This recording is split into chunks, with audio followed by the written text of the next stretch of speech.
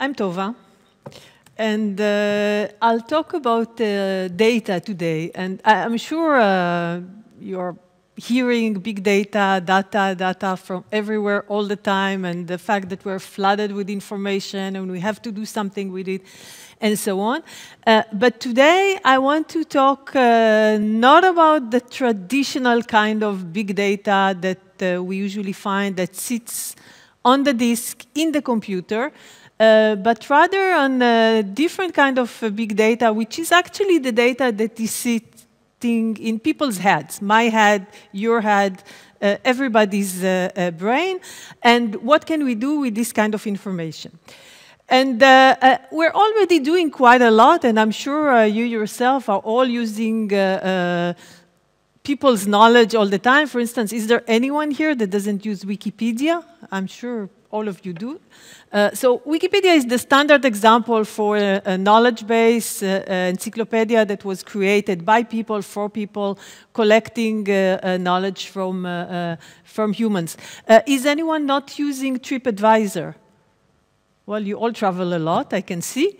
Uh, so that's yet another uh, example of a knowledge base where people contribute their opinions on hotels, on restaurants, on uh, other things, and people are using it.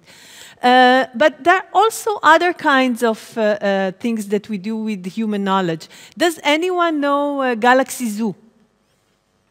So Galaxy Zoo actually is a computer game that my children really, really like. It's a computer game where the players are um, look at uh, pictures taken by the Hubble telescope, and uh, uh, the computer is asking them a lot of questions about these pictures, uh, especially of uh, galaxies, Okay, and uh, uh, are asked questions like, is this galaxy oval? Is it round? Is it bright? What color it has? And so on and so on.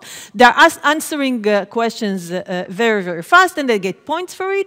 And at the end of the week, there is the galactic prince or the galactic uh, princess, the one that won, that answered the largest number of questions, and so on. Now, you may be asking yourself, okay, what does this have to do with crowdsourcing or wisdoms of the crowd?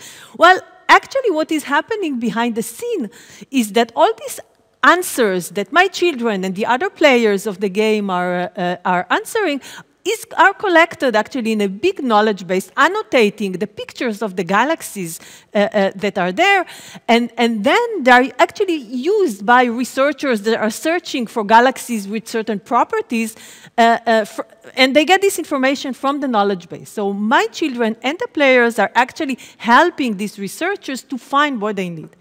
Another